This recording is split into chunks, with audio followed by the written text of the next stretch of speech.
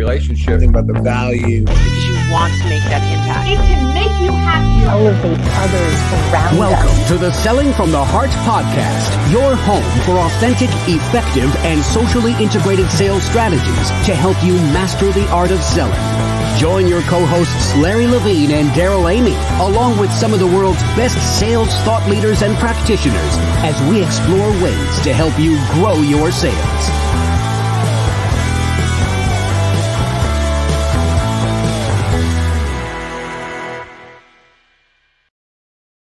Hello and welcome back to the Selling from the Heart podcast. Your co-host Darrell Amy here today with Larry Levine. What's going on, Larry? You know what? Every time it seems like every time we have a conversation, Darrell, we cook up something. But before we go there, you know, we're in we're into the last parts of summer, and it seems like in Southern California, it went from summer to lighter versions of summer. It's just a little rub on the weather we have here is just so gorgeous. Well, hey, I think that's just the sign that uh, a couple important things are happening. Number one, football season is in full swing, and second of all, we're in the fourth quarter. It's time to time to get it done. And just like that football game, what happens in the fourth quarter of the sales year uh, is a really, really critical. And so we just want to let you know it's selling from the heart. We're cheering you on. We're cheering you on to uh, to finish strong this year. And by the way, if you're new to the Selling from the Heart podcast, welcome. You've joined a growing community of sales professionals that are dedicated to being genuine, being authentic, adding real value. We call it Selling from the Heart. And Larry, as this podcast airs, we will have just been coming off an incredible high, also known as the 2021 Trust Building Challenge. And uh, wow, what an incredible roster and the event. It's just so exciting when people get together, like hearted people, and say, Hey, I want to grow. I want to become better at what I do. And we've we've always talked about it. We'll continue to talk about it. Darrell is trust is the key factor. Trust is a key factor with anything because when there is no trust, things slow down to almost a complete halt in sales. And the exact opposite is true. When we can build trust, when we get speed to heart, things accelerate. And that's exactly what we need. So if you're listening in, you go, I missed it. I missed the trust building challenge. Don't where panic. were you? don't miss the next one. Uh, but don't panic. We actually recorded everything. So it is all available to you. Just go to the 2021 trustchallenge.com website, www.2020. 2021. Let's get the year right, Larry. 2021 trustchallenge.com and you'll get immediate access to the recordings. We'll also notify you about future challenges so you don't miss out. Speaking of something you don't want to miss out on, I just want to give a shout out to our friends at BombBomb. Bomb Bomb is enabling us to rehumanize our communication. And right now, in the in the clutter of the inbox, in the clutter of digital pollution, as our friends Ethan and Steve like to say, uh, it is so refreshing to have an incredibly simple tool that allows us to reach out and put a face on what is normally faceless communication. It's an it's an incredibly simple tool that a lot of us just haven't taken advantage of. Is you talk about the inbox being cluttered just imagine when somebody opens an email and they see your face and they listen to your message and the excitement and the passion behind what you do as you lean in to the conversation as opposed to hiding behind your keyboard. Exactly. So try it out. Bombbomb.com slash heart gets you free access for 14 days. And if you've already taken advantage of it, as I'm sure most, if not all, Selling from the Heart listeners have, share it with your coworkers, your friends, and uh, enable them to add a face to faceless communication as well. And let's bring some more authenticity to the world. And, you know, if you think about the idea of sending out a personalized video, that is a great way to either tee up or follow up on a call. However, the problem, Larry, you know where I'm going. I know exactly where you're going with this, Darrell they got this little thing out there in sales that you may or may not have heard of called call reluctance. And we've got a guest today who is uh, I'm anything but reluctant to introduce, and that's our friend Connie Kadansky to talk about call reluctance. Connie, welcome to Selling from the Heart. It's great to have you here. Oh, it's lovely to be here. Thank you. Well, and we're going to have a fantastic conversation today, but you know the question that every guest on the Selling from the Heart podcast gets, and that is Connie, what does it mean to you to sell from the heart? Selling from the heart to me means that I hold my client's interest equal to my own, that I value the client as much as I value myself. Oh, Oh, so I good. I love this. And you know what? And I love you even more, Connie, because you're wearing red. Thank you so much. We're twins. It's better than Daryl and I being twins. So thank you. That is, but that is that is a really powerful answer, and and I I love the heart of saying I'm going to value the client's outcomes and value the client as much as I value myself, and that that level of perspective is powerful. So thank you for that, Connie. Um, call reluctance. Does this still exist in sales? Are you finding that salespeople are still reluctant to make calls? Yes, the pandemic has brought an epidemic of sales call rejections. What are you seeing out there in sales teams right now? Well, they're doing just like you mentioned, hiding behind the keyboard. And it is so important that I the phone is their salesperson's ATM machine. And just to get comfortable picking up the phone and making those calls. So there, there are 16 types of call reluctance, and telephobia is only one type, and it's the easiest to overcome. Oh, so I want to dive into this, but as I'm listening to what you're saying, I'm, I'm thinking of our good old friend Jeb Blunt over at Sales Gravy because he says nobody answers a phone that doesn't ring. That's good. right? Telephobia. Telephobia is fantastic. So, what do you do about what do you do if you've got telephobia or if you've got salespeople on your team that have telephobia? Well, so it's just using the phone, picking up the phone to make that prospecting call. So, as you know, when we make a prospecting call, we are making an unsolicited call. And so we just need to get comfortable with using the phone. And I overcame it in one morning in my office. So I was a sales call reluctant salesperson. So I know what it feels like. I was taking a nap at two o'clock in the afternoon, and I decided this is something's going on here. I, I'm motivated, I'm goal oriented. And so I flew to Dallas and I went through a program years ago on fear free prospecting. And here's something that is fascinating around the telephobia. So, when people, our sense of smell can be very valuable to us. And when people smell something, it immediately takes their brain to another place. So, we have a technique called sensory injection by using essential oils. So, think about it. If a salesperson is ready to punch in those numbers and they go, Oh, we've already got 10 calls today, or they don't want my product. Well, there is a little bit of work to do ahead of time, but I actually used frankincense. And so when I would feel that that fear, now I had done some preliminary work ahead of time in setting my mind, etc. I would just smell this frankincense and it would take me out of the fear because it would instantaneously take me out of the fear. And I would just smell that and I'd punch in those numbers and off I'd go. I love it. That's that's actually brilliant. I think I was I was thinking about actually a hundred dollar bill and smelling money could be a good one too. But frankincense probably smells well. I don't know. Smelling money is pretty good, but that's that's really powerful, and that's um, I love that. Just like it's a state change, right? Saying I'm I'm going to shift myself into a different different state. Am I am I tracking with you on that? Yes, yes, and it does. I have demonstrated in my workshops and have people smell something, it instantaneously takes their brain to another place. So all the sales leaders out there, key in on this. Maybe maybe we've just put uh is it frankincense? Well, that was the one that appealed to me. I make, have make I sure you have- supply them all. and I have male clients that golf and one of them found a scent that smelled like cut grass.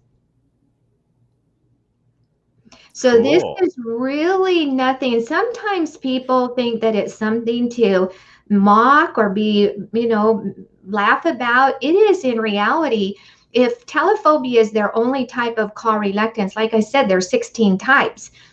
So if somebody has telephobia and over preparer call reluctance, where they're over analyzing the call, well, they, they got there's a combination there, right? So there are different techniques that help different people that have different types of call reluctance.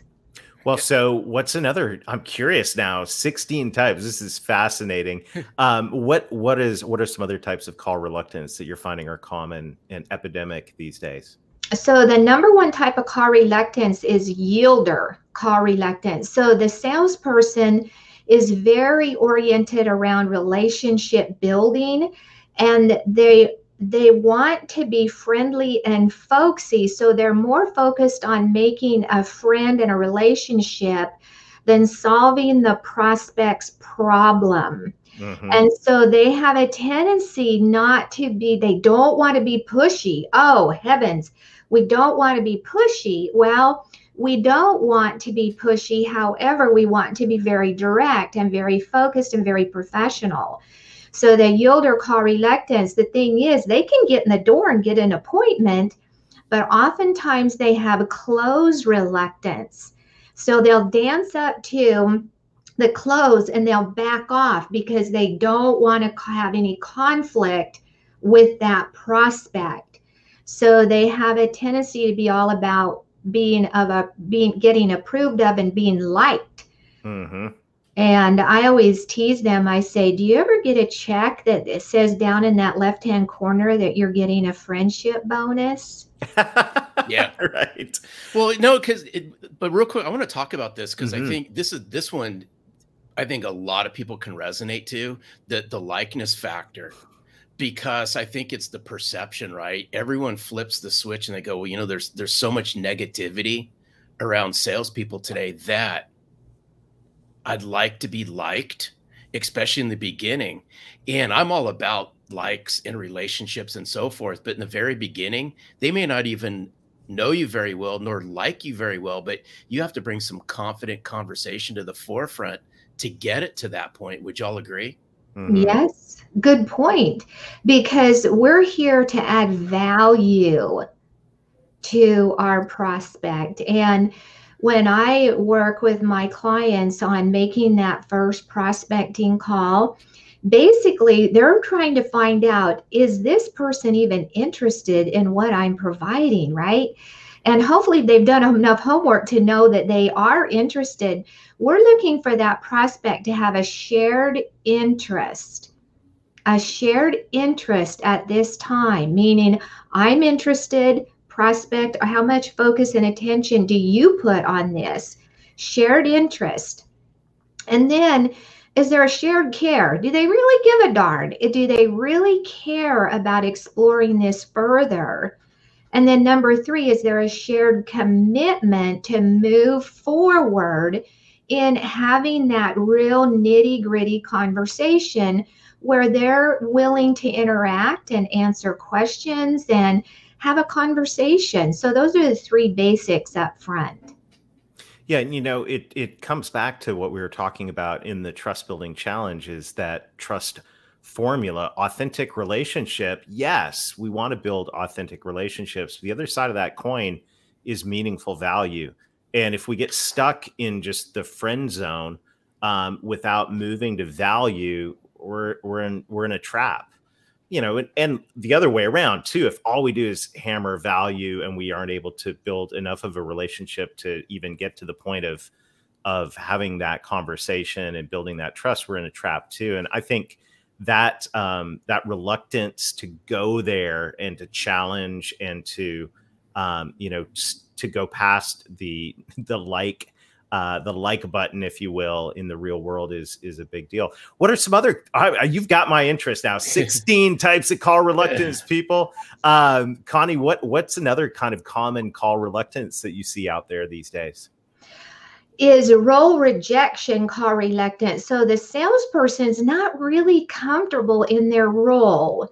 Mm. So they they're not comfortable in prov- they don't know their value enough or and on one of the episodes that I listened to with Selling from the Heart was talking about the gentleman was talking about sales managers because guess what? Sales managers and sales trainers can be the number one carriers of call reluctance. Explain. so they, you know, where you're going with this one. you, do you know Larry? well, I think because they're afraid to do it themselves. Well, or they they stereotype type the salesperson. Now, don't be going out there and doing this. Don't be like this and don't be like that. Well, a new salesperson's going, okay, you don't want me to do that. What you know, what should I be like? Mm. But Mhm. sales is a fascinating career and we add value. The world is revolves around the selling process. And so sol- sales is solving people's problems for a profit.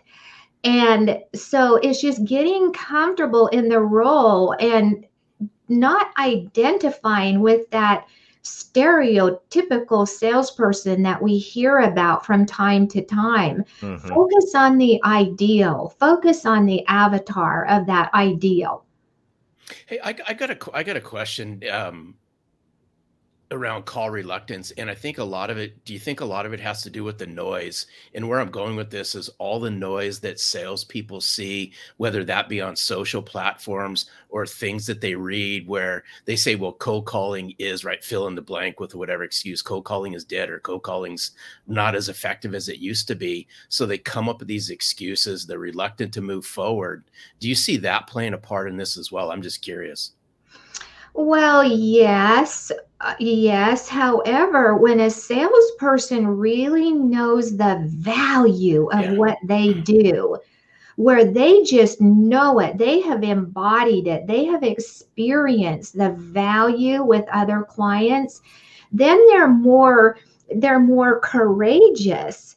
And so with the call reluctance, it's it's really we always say mindset mindset. Well who's setting the mind right? Who is setting the mind? And salespeople i mean i don't like to hear a no but for crying out loud i always say what does that no mean?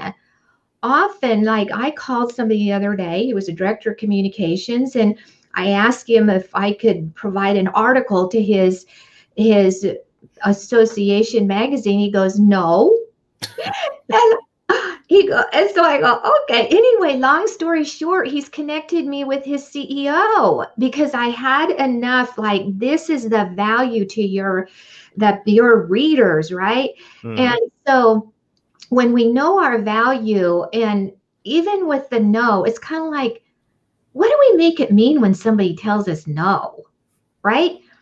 And I was coaching a salesperson today, and she sells a pretty tough product, which is reverse mortgage. A lot of people misunderstand it. And some people just slam down the phone. Well, you know, who wants to have the phone slammed down on them, right? So, how do you emotionally handle something like that, a rude prospect, right? So, a lot of times, salespeople, oh my gosh, this means this is going to throw me down the self doubt spiral. No, no. I, it's like, what am I making it mean? They're not having their best day, obviously, right? And so it's really learning those mental fitness skills to not allow that stuff to derail us. That's so such powerful. What a what a great and timely conversation. And one of the things I wanted to get into that's is very fascinating. And, and when you go to Connie's LinkedIn profile, you'll see just this incredible wealth of of science and knowledge uh, behind what you do. But where does how does neuroscience play into this, and and how has that affected your perspective and your prescription uh, for this epidemic of call reluctance? Well, so neuroscience is really about the brain, right? And so mm-hmm. when we have an event, it triggers something in the brain. And when you really look at it, the fear center of the brain is the amygdala. Mm-hmm. And so mm-hmm. that's where that's where the fear gets stimulated and we can work on mental fitness skills so that we don't get triggered by an mm-hmm. event and uh, that could possibly be perceived as negative that we have that ability to self command what am I going to make that mean? I'm going to command myself. I am not going to go into the negativity around this. And so that's where neuroscience comes in, where we train our brain to take any event and neutralize it. What am I going to make it mean? Or how can this be a gift or an opportunity for me? So if a salesperson is not being effective on their prospecting calls, we don't want them to just keep making them, right? We want them to stand back and think about it and really work on what is my glitch here? What is mm-hmm. it that I need to do? And so that's how we actually start training the brain to to perceive things differently. And with prospecting, curiosity is an emotion get curious about the prospect, about this and that. So that's where neuroscience plays a part that we can learn to command our brain and we can train ourselves to to intercept when we're having a saboteur or a negative intruder that's trying to talk us out of making that prospecting call become acutely aware of it and so the program that I work with, there's a daily app. So it actually helps people develop those skills, those mental skills. Oh, that's so good. Is there just real quick in the time we have left, can you coach our listeners on maybe a couple quick tips they can implement to overcome some of this if they have it? Well, yes. Okay. So, number one, you have to have a why behind your what. And so, what is it that you want to achieve professionally? Mm-hmm. And what do you want your bank account? How much do you want in your bank account? Do you want a home somewhere else or what is it you really want? And I know you've covered that with many of your guests. Mm-hmm. And then when you're ready to punch in those numbers and you hesitate, immediately allow yourself to tune in to what is causing you to hesitate. It's kind of like the hand on the hot stove. When we put our hand on the hot stove, we we pull back because it's painful.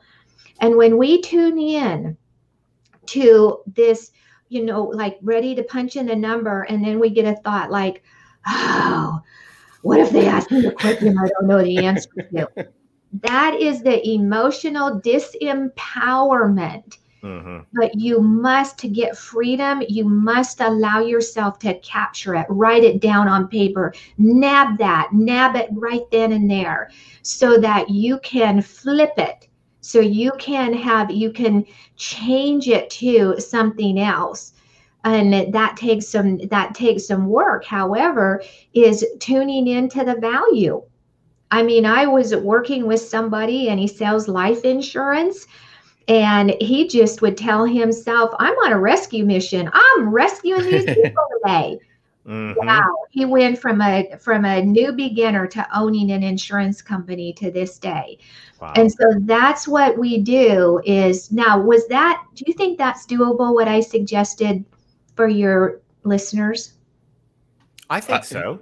I, and yeah. I like the idea of of you know I I'll just speak personally like when there's a negative you know, you have that amygdala hijack or that pops in. You know, my reaction, my gut reaction is just stuff that, get that out of here, get that out of here. But, but you're saying like write it down, confront it, and make a plan uh, of what you're going to do with it when it happens, right? Yeah. And that's where the sensory injection comes in too. Mm-hmm. That can, uh, when you're having, because fear is physical. People where our heart starts beating yep. faster our face turns red. And so and also is before you go just take a deep breath. And what i encourage people to do before they make a prospecting call close their eyes because that goes beyond the analytical mind close your eyes, put a smile on your face, remind yourself of the value that you are creating for the prospect. Mm. Think about your family, how much you love them. Pick up the phone, punch in the numbers. That's powerful. You always see, I mean, I will tell you this for a long time, uh, Darrell and I've had some sidebar conversations on this, Connie. Forever and a day, I was petrified to use the phone. I don't know how I survived as long as I did in sales because literally, I was afraid I would I would do everything to avoid using the phone.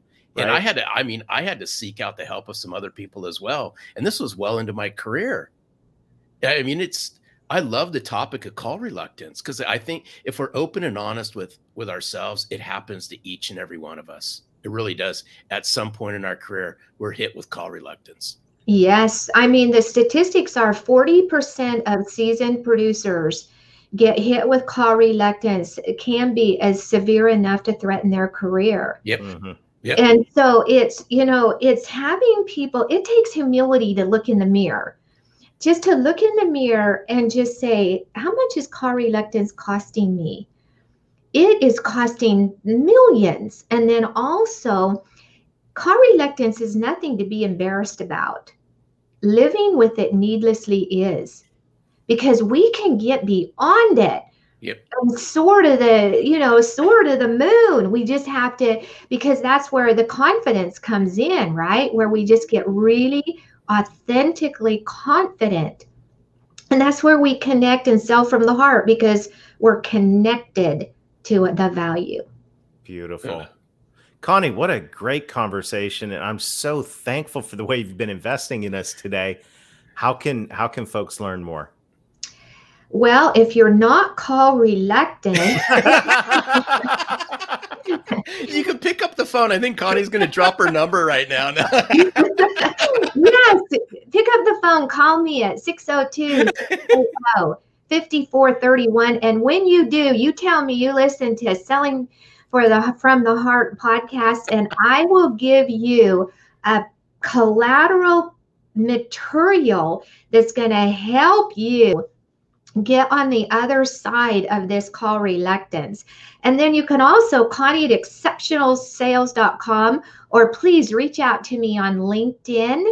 And also on my website, I have an opt in so I do get your information, and there's a free prospecting EKG. So you can take this assessment, the paper and the pencil assessment, and find out the severity of call reluctance. And then I have an a, an assessment that measures for the call reluctance. There's a financial investment in that, but it tells you exactly what intensity and what type of call reluctance that you have. Brilliant. That's so good. So I good. love it. I love thank it. Thank you so much. Connie. Yeah, Connie, this has been fantastic. It's a pleasure to meet you. And uh, thank you once again for investing in us today. Fantastic. Well, thank you for having me. uh, what, oh. what a great what a great topic and what a critical topic yes. in the middle of in the middle of all of this, especially especially after you know the um I mean I, we've always call, call reluctance has been around for a long time uh, but I think what Connie said at the beginning is it, there's some ways it kind of has amped up this last year, and and even as we're you know heading hopefully out of this pandemic or wherever wherever we are, and you know there was there's there's there was a surge of call reluctance that happened last year, and I think it's really important that we get past that. And so the tools that she gave us today are are really really powerful. Yeah, you know, and, and I'd ask all the listeners out there, Darrell, you know, as, as, we're sitting here into the fourth quarter, is overcome that reluctance to use the phone. In fact, mm-hmm. overcome the reluctance to prospect in general, because it's what you guys do in the fourth quarter that's going to help you as you roll into the first and second quarter of 2022. I think so. And I really, you know, the alignment with selling from the heart, one of the things that Connie said that was so powerful was to really get in touch with your why.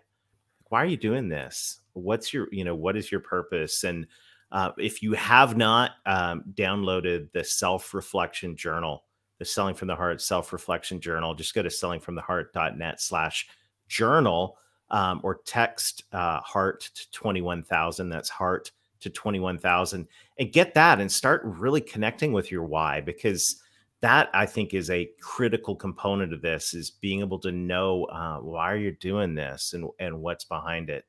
Well, Larry, hey, I got I got hey, I got to throw one more thing in there, only just because, right? No more sweaty palms, right? After you listen to this podcast with Connie, right. no more sweaty palms. well, hey, thank you uh, once again to Connie. Thank you to everybody in the Selling from the Heart community. It is so amazing to be a part of a community of like-hearted salespeople uh, that are out there bringing their authentic selves um, to prospecting in every aspect of the sales process. I want to say a huge thank you to everybody that contributed during the 2021 Trust Building Challenge. As we said at the beginning, if you want to pick up those recordings, go to 2021trustchallenge.com. Thank you to everybody who's leaving reviews on the podcast, a platform on which you listen, whether it's iTunes, Spotify, YouTube. Do us a favor, hit subscribe, um, and also go ahead and leave a review. That helps us spread the message of this movement of bringing authenticity to the sales profession. So until next week, keep being genuine, keep being authentic, keep adding real value, deal with call reluctance, and most of all, sell from the heart.